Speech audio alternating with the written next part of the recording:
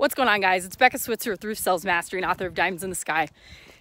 People say all the time, success is up to you, right? Your success is up to you. And people like to use that mantra and say that, but at the same time, when people see other successful people, they'll say, yeah, but well, they have that body because of genetics. Or, well, they're where they're at the today because they came from an affluent family their parents paid for everything. They had a good start. Or, yeah, but they lucked out. They like, they've always had that natural talent and that's just kind of carried them through. Or they got lucky, they caught a break and they found, you know, a job they're passionate about right off the bat and they're just, they're lucky. Or whatever. And I wanted to share a little bit of my story today because that is such bullshit. I call those failure stories when people, you either have a success story or a failure story. Now, everybody who has a success story knows that it is sprinkled with failures, right? Failure stories are part of success stories. But people who aren't where they want to be or where they should be have a failure story that sounds like, oh, I didn't ever get any help from my parents, or I just haven't found what I want to do yet. So, you know, that's why I'm not where I want to be, and or whatever. When I was 14, the day I turned 14 years old, I was like, okay, I want to be able to get a car by the time I'm 16. The day I turned 14, I had my mother drive me to the Mall of the Bluffs where I applied to work at a fast food restaurant called Taco John's, where I worked until I was almost 19 years old. That's where I worked. And I did that every single week after school on weekends because I wanted to make money. I didn't want to have any excuses. Then I went to college for two years. And here, I'm slipping on some mud here.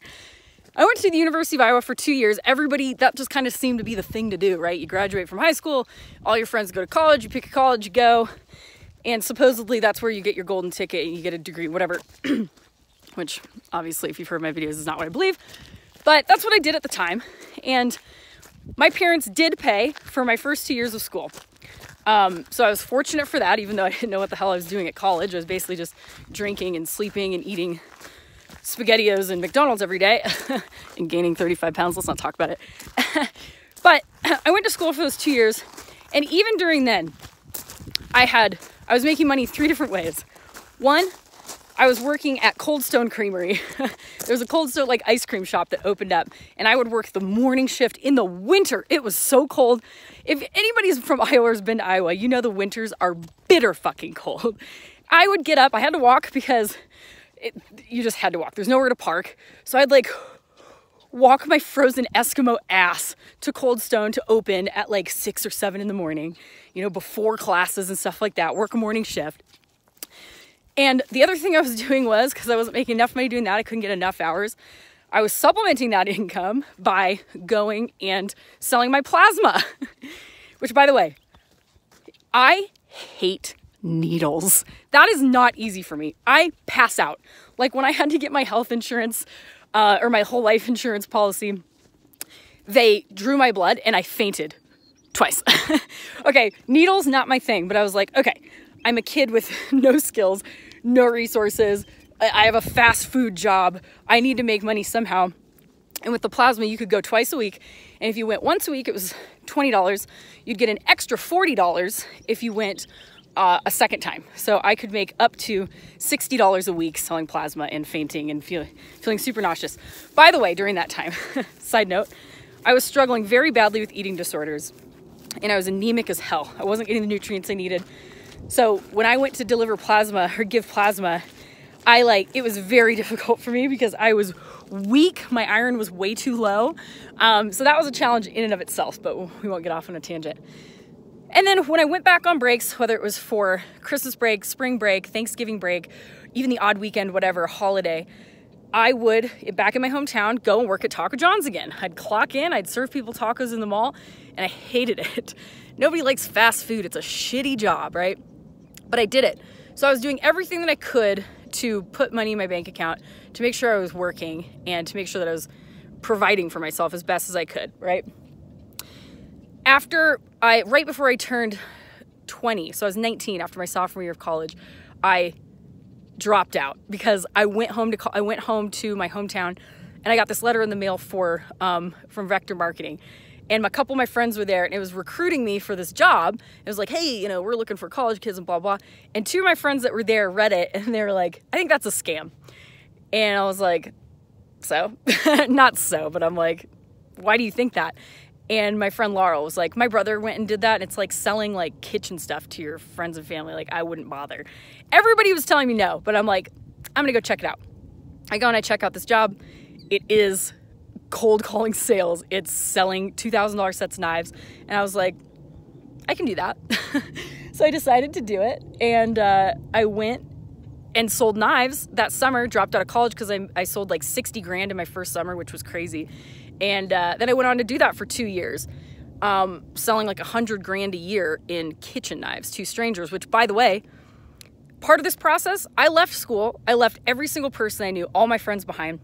I moved down to Kansas City to do this Cutco thing. I didn't know anybody there, not just socially, but I didn't know any customers that I could have down there. So I had to come up with customers from scratch.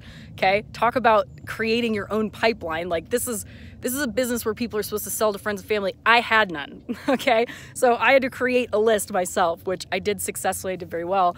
And then I got recruited into this crazy roof sales job, which was even scarier I didn't even know that insurance restoration was a thing, first of all, but I said okay when somebody said, I want you to sell everything that you have because you're not going to have a permanent home for a while and travel around the world like a roof sales gypsy or around the country like a roof sales gypsy, chasing storms and selling roofs. And I'm like, it doesn't really sound like what I want to do, but I'll do it. and I did that very, very well.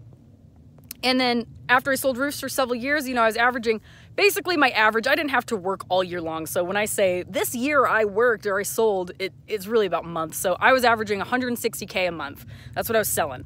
So I was doing really well with the roofing stuff. Um, during this time, still battling massive depression. um, depression, eating disorders. I was weak. I was tired. I like, for anybody that's dealt with clinical depression, you know what, what it's like. It's like you can't even get out of bed. Like you can't, you're in a fog. You're in a dark fog at all times. Like you're just on autopilot. It's a miracle that you're doing anything. But I was muscling through that and I was chasing whatever my dream. And my dream was simply financial freedom. It wasn't, I'm going to do this for a living, you know, or like whatever. It was just, I wanted to make it. I didn't want to worry about money. I wanted to be able to do whatever I wanted to do whenever I wanted to do it, right? So did that until 2014 when I created Roof Sales Mastery. I was like, all right, I've developed some amazing skills here doing what I've done. I'm going to put it all together. Wrote the book, wrote six different online programs, put all that stuff together and created nearly a seven-figure business that I am running today. And I'm sharing all of this with you because I want to make one main point. I'm not where I am today because I had rich parents that paid for my life I haven't received a single dollar from anybody since I was 19. Not a dollar. I haven't asked for a handout from anybody. I've made my own way. I'm not in this position because I waited until I just found what I loved. I did what I fucking had to do for a long time years and years and years of grinding, hustling, doing shitty jobs, doing really hard jobs, suffering through like mental illness. I did it not because I wanted to and it was my passion, but because I had to do it or I chose to do it. I was doing what I had to do until I could do what I wanted to do. I didn't get this handed to me. I didn't get help. in fact, I haven't even had a relationship with my family for six years now going on. That's a long story in and of itself. But I've been kind of a lone ranger, you know. I my former husband, we were kind of like teammates, partners, but I did all the selling. He always dealt with just the back end stuff, paperwork, whatever. I've always been the one that's going out and hustling. If I was knocking doors or making cold calls or climbing around in the heat or flipping fucking tacos or whatever it was that I had to do, I did it. And I wanted to share that with you guys today because I want you to take a look at where you are right now. And I never like to compare and say, here's the yardstick where you should be at this point in your life. But if you're not where you want to be, I'm not saying compare yourself to anybody else, but if you're not where you need to be and you're of a certain age or you've done so much eh, and it's been this long, what is your failure story that you're married to? Because success doesn't happen by luck, it doesn't happen because you have a rich mommy and daddy. Those are factors that some people get to bank on, But I'm here to raise my hand right now and say, well, that's not what I did. And I didn't have that. my parents did well, but they didn't supply my life. They paid for two semesters of college and that was it. Or four semesters of college, two years. That was it. and I'm pretty sure they cut me out of the will. So, Becca, what'd you do? It's a long story. So, that's it. Where are you today? Why aren't you there? What's your excuse? Is it even valid? Probably not. I'm here today and I shared all of that with you to empower you and show you that your success is literally up to you. And sometimes you're gonna have to do shit you don't wanna do, that you don't like. And sometimes you don't have direction.